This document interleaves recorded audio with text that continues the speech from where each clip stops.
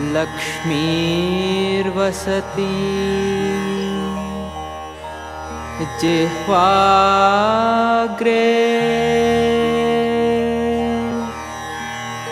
जिह्वाग्रे।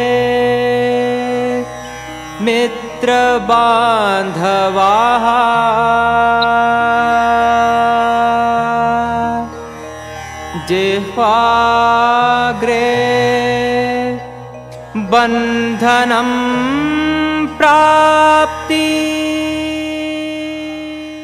ಜಿಹ್ವಾಗ್ರೆ ವರ್ತತೆ ಲಕ್ಷ್ಮಿ ಜಿಹ್ವಾಗ್ರೆ ಮಿತ್ರಬಾಂಧವ ಇದು ಒಂದು ಶ್ಲೋಕದ ಅರ್ಥ ಇದು ನಾಲಿಗೆ ತುದಿಯೊಳಗೆ ಲಕ್ಷ್ಮಿ ನೆಲೆಸಿದ್ದಾಳೆ ನಾಲಿಗೆ ತುದಿಯೊಳಗೆ ಸ್ನೇಹ ಸಂಪತ್ತು ಕೂಡ ಬೆಳೆಯೋ ಹಾಗಾಗತ್ತೆ ಅಂತ ಇದರ ಅರ್ಥ ಇದು ಜಿಹ್ವಾಗ್ರೆ ಬಂಧನಂ ಪ್ರಾಪ್ತಿ ಅಂದರೆ ಮ್, ನಾಲಿಗೆ ತುದಿ ಒಳಗೆ ಬಂಧನ ಅಂದರೆ ಒಡೆದು ಹೋಗೋದು, ಸ್ನೇಹ ಸಂಪತ್ತು ಒಡೆದು ಹೋಗೋದು ಅಂತಲೂ ಆಗುತ್ತೆ. ಜಿಹ್ವಾಗ್ರೆ ಮರಣಂ ಧ್ರುವಂ ಅಂತ ಹೇಳ್ತಾನೆ, ಭಯಂಕರವಾದ್ದು.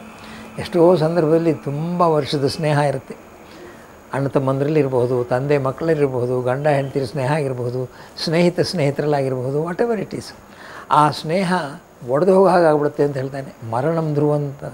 ಸಣ್ಣ ಒಂದು ಉದಾಹರಣೆ ಕೊಡ್ಬೋದು, ತುಂಬ ವರ್ಷ ಸಂಸಾರ ಮಾಡಿರ್ತಾರೆ, ಚೆನ್ನಾಗಿ ಮಾಡಿರ್ತಾರೆ ಆ ಹೆಂಡತಿ ಗಂಡನನ್ನು ಅರ್ಥ ಮಾಡ್ಕೊಂಡು ಎಲ್ಲ ಮಾಡಿರ್ತಾನೆ. ಯಾವುದೋ ಒಂದು ಗಳಿಗೆಯಲ್ಲಿ ವಿಷಗಳಿಗೆ ಅನ್ಬೋದು. ಅವಳಿಗೆ ತುಂಬ ನೋವಾಗ ಹಾಗೆ ಮಾಡಿಬಿಟ್ಟ ಅಂತಂದರೆ ಅವಳನ್ನು ಪುನಃ ಅವನು ನೋಡ್ತಾನೋ ಇಲ್ವೋ? ಹೇಳೋಕ್ಕಾಗೋದಿಲ್ಲ. ಮಾತು, ಆ ಮಾತು ಅನ್ನೋದು ಹಾಗಿರುತ್ತೆ. ಅದರಿಂದ ಮಾತನ್ನು ಆಡಿಕೊಂಡಾಗ ನಾವು ಮನಸ್ಸಿನಲ್ಲಿ ಯೋಚನೆ ಮಾಡಬೇಕು. ಹೀಗೆ ಮಾತನಾಡಿದ್ರೆ ಹೇಗೆ? ಹೀಗೆ ಮಾತನಾಡಿದ್ರೆ ಹೇಗೆ? ಎಷ್ಟು ಸಲ ನಾನು ನಿಮ್ಮ ಮನೆಗೆ ಬಂದಿದ್ದೀನಿ. ನೀವು ಒಂದು ಸಲ ಕೂಡ ನಮ್ಮ ಮನೆಗೆ ಬಂದಿಲ್ಲ. ಚೆನ್ನಾಗಿದೆಯೇನು ರೀ ಇದು? ಹಾಂ ನಿಮಗೆ ನಾಚಿಕೆ ಆಗೋಲ್ಲ ಅಂತ ಹೇಳಿಬಿಟ್ರೆ ಅಲ್ಲಿ ಮುಗೀತು ಸ್ನೇಹ. ಸ್ನೇಹ ಮುಗೀತು. ಸೊ ನಾವು ಪದಗಳನ್ನು ಹಾಕುವಾಗ ಬಹಳ ಯೋಚನೆ ಮಾಡಿ ಹಾಕಬೇಕು. ಇದು ಯಾವಾಗ ನಮಗೆ ಆಗುತ್ತೆ ಅಂದರೆ, ನಾವೇನು ಮಾತಾಡ್ತೀವೋ ಅದನ್ನು ಯೋಚನೆ ಮಾಡಿ ಮಾತಾಡೋದಾಗುತ್ತೆ. ತಕ್ಷಣ ಹೇಳಬಾರ್ದು.